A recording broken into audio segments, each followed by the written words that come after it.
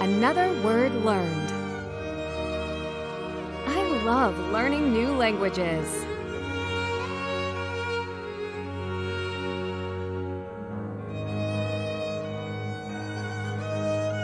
This doesn't feel quite right.